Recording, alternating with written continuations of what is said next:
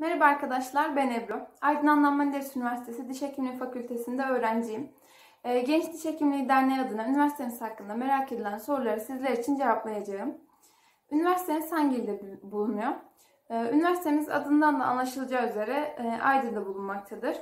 Üniversitenizin statüsü nedir? Üniversitemiz devlet üniversitesidir. Ee, üniversitenizin sosyal imkanları nelerdir? Üniversitemizde birbirinden farklı 60 kadar öğrenci topluluğu bulunmaktadır. Ee, bazıları sadece isimden ibaret olsa da e, bunların e, pek çoğu kültürel ve sanatsal etkinlikler düzenlemektedir. E, ayrıca üniversitemizde konser ve bahar şenlikleri de düzenlenmektedir. Kampüsümüzde spor salonu ve yarı olimpik bir yüzme havuzu da bulunmaktadır. Üniversitenizin şehir içindeki konumu ve fakültenin üniversite kampüsüne göre konumu nedir? Nasıldır?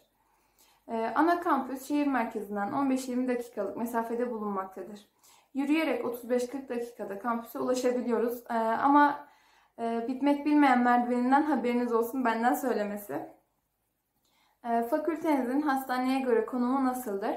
Fakülteli hastane iç içedir. Tek sıkıntı ilk 3 dönemde teorik dersleri görmek için tıp fakültesine gitmemiz gerekiyor. Tıp fakültesi de ana kampüste bulunuyor. Yani bu da aklınızda bulunsun. Ee, pratik derslerin laboratuvar şartları nasıldır? Öğrenci sayısına göre klinik ve preklinik yetersiz kalabiliyor.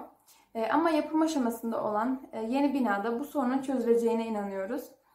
E, bu fakülteyi tercih edebilirim çünkü hocalarımız samimi ve bölümlerinde uzman kişilerdir. Fakültemizin şehir merkezinde olması bize pek çok avantaj sağlamaktadır. Ayrıca Aydın küçük bir şehir, şehir olduğu için ulaşım da kolaydır.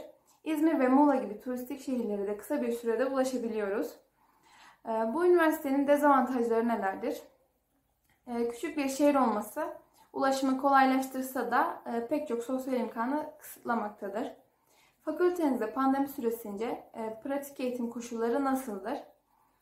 E, pandemi süresince pratik eğitim çoğunlukla yapılamadı. Geçtiğimiz son bir ay dönem 2'ler için, son 2 ay dönem 3'ler için, son 4 ay ise dönem 4 ve 5'ler için pratik eğitim verildi. Fakültenizde pandemi süresince e, teorik eğitim koşulları nasıldı? Atizm üzerinden online olarak teorik derslerimize devam ettik. Ders kayıtları daha sonra da izleyebilmemiz için sisteme yüklendi. Bu bizim için çok iyi oldu. Çünkü e, videoları durdurarak izleyebiliyorduk. Hani not alabiliyorduk yani istediğimiz yerlerde. Yani bu e, açıkçası yüz yüze eğitimde elde edemeyeceğimiz bir avantaj oldu bizim için. E, ve son sorumuz fakültenizde pandemi süresince ölçme ve değerlendirme sistemi nasıldı? Ee, kurul dersleri ve birkaç e, ders için online sınav olurken geri kalan çoğu ders için ödev verildi.